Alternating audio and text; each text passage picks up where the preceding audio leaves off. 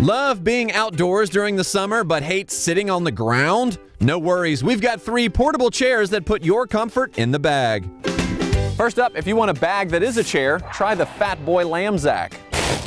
Just unroll and fill with air for a lounge sofa anywhere, anytime. Dutch creator Marijn Oomen says it's all about being festival ready. If you have the right technique, you can uh, always inflate it. Run in a straight line. That, that's an important one, not, not like circles.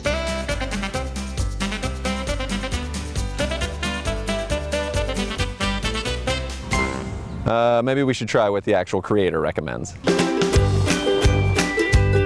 After all that, you're gonna need a place to sit. the spoils of my hard work. For about $80, you get a compact portable sofa slash hammock slash chair slash whatever. The seating possibilities are endless. Very nice. Next, if you want a chair that fits in your bag, try the Treo by Therm-a-Rest. In less than 60 seconds, this pod turns into a chair that'll have you feeling like the king of the field. So that's supposed to be able to support about 250 pounds. Uh, I had a big breakfast, so let's see. All right, not bad. Kidding, just kidding. It's about hundred bucks, but at less than three pounds, it's one easygoing travel companion.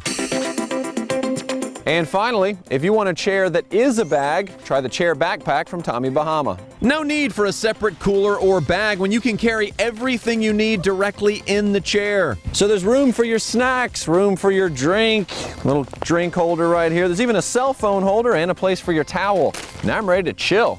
Get one for $65 through Tommy Bahama and stay styling while having what you need on the sidelines. All right, let's go, Bobby. You can do it. Seating that's beating the competition is what's trending. Totally watching.